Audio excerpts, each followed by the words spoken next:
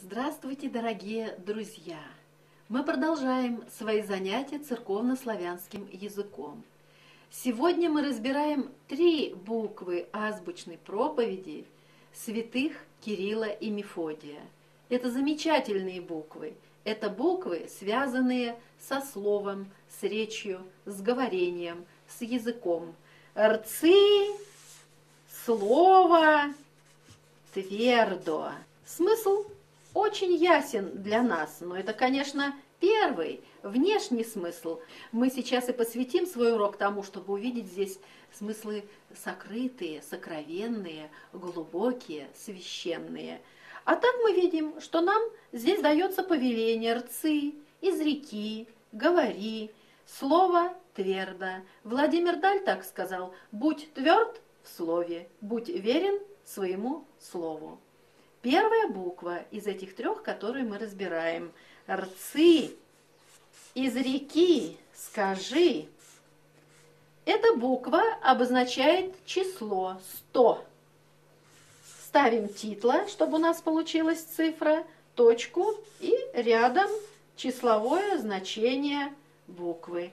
Мы, конечно, понимаем, что это слово «рцы», «говори» значит еще и не пустословь, потому что мы и друг другу всегда говорим, говори дело. Не пустословь, а думай, над чем ты говоришь. Грамматическая форма буквы «рцы». Значение буквенного слова «рцы». Сама форма «рцы», конечно же, нам непонятна, и мы должны к ней обратиться. «Рцы» – повеление, образовано от глагола «реку», «говорю», связано с речью.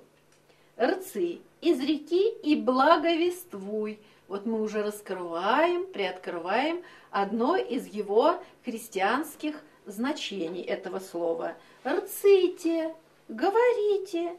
И рцем давайте все вместе скажем.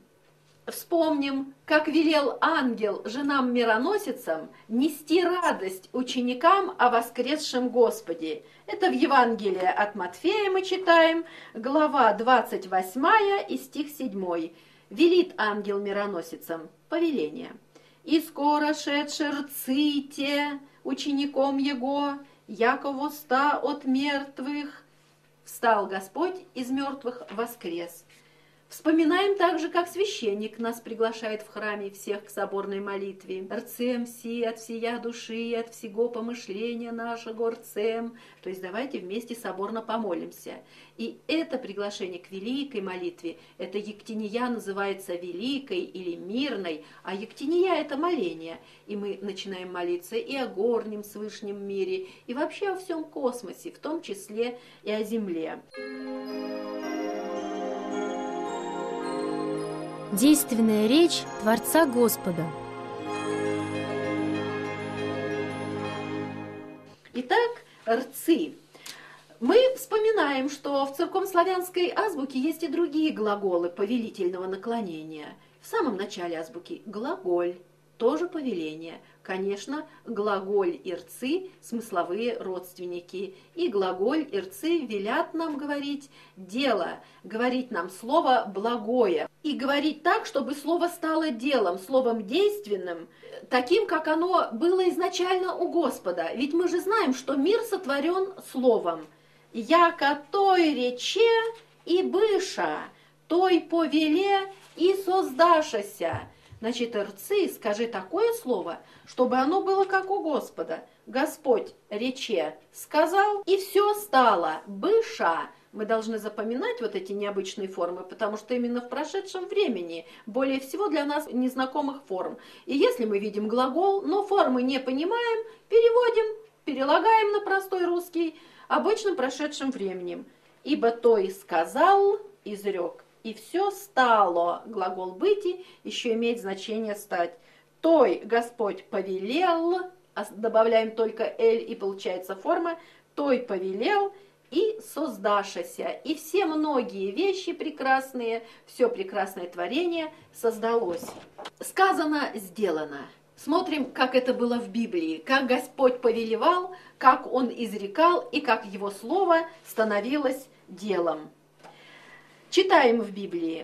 Первая глава книги «Бытие». «И рече Бог, да будет свет, и бысть свет, и стал свет. И рече Бог, изрек Бог слово, да будет твердь, и бысть твердь. И рече Бог, да соберется вода, и собрася вода, и собралась вода. И рече Бог также о земле, о светилах, и все создашася, и все выше. И так сказано, сделано. Божье Слово есть дело. Дар действенной речи человеку. Вспомним, что этот дар изрекать действенное слово Господь дал и человеку, причем это дар, даром. Он одарил человека говорением, речью. Человек – существо словесное. Этим даром прекрасно владел Адам. В Библии же мы читаем, что Адам изрек, нарек имена всем животным. Наречь имя – это постичь сущность явления. Сказано в Библии, что Адам назвал имена так, как они были свойственны зверям, животным, птицам морским, причем несколько раз повторяется, всем нарек имена Адам. Каждое животное доверчиво показало ему сокровенную сущность, и он на отлично выполнил Божие повеление, потому что Адам был еще безгрешным. И его слово, и его речь тоже была точной, правильной, твердой, творческой. И от нас требуется такое же слово э, крепкое, твердое, надежное, подкрепленное делом. Речь – это песня, символика заставной буквы РЦИ. Бог, как творец, творил мир словно песню. Он пел, он поэт в творении мира – и наша речь, наше речение, наше слово должно быть певучим. Оно должно быть песней. И эта песня должна быть радостной. Рцы – это значит «хвали Господа, пой Ему радостно и светло». Так это и понимал пророк Давид, когда писал свои псалмы. Потому что псалмы – это песни красные, хвалебные во славу Бога. И вот он что нам говорит? «Воскликните Богу, ви вся земля, воспойте и радуйтесь и пойте, в трубах кованых и глазом трубы роженые, вострубите пред царем Господом, хвалите Господа».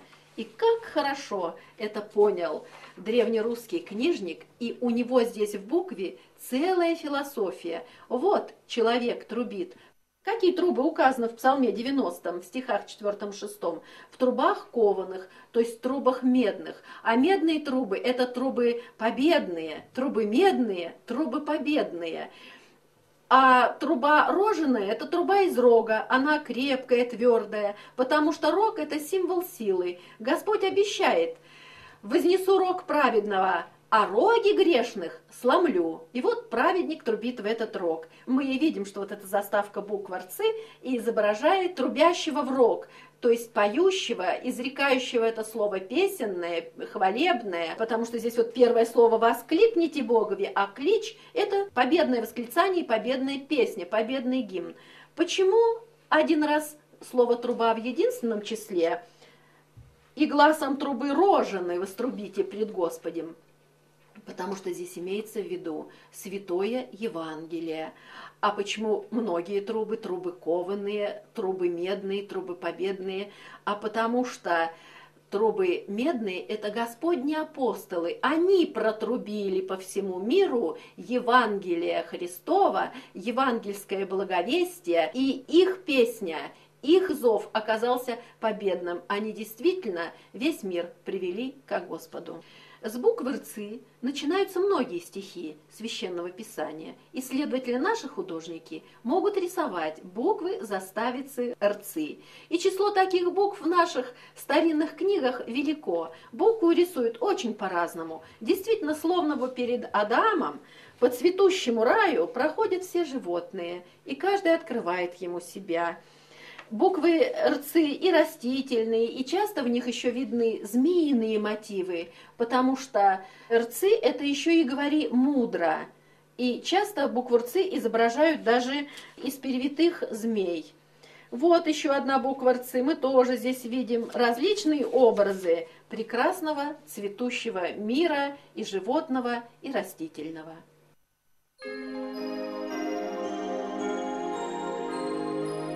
Задание к уроку.